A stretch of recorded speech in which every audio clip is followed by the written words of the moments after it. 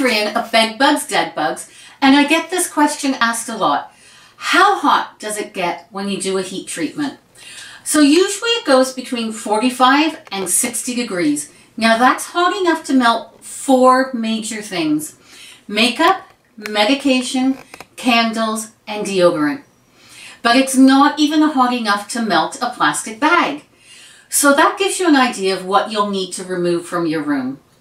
You can leave most things in there, but do take out anything that's of great value to you, whether it's a photograph of your grandmother or a craft project your kids made. I'm happy to answer any of your questions so you can turn your bed bugs into dead bugs. Sleep tight tonight.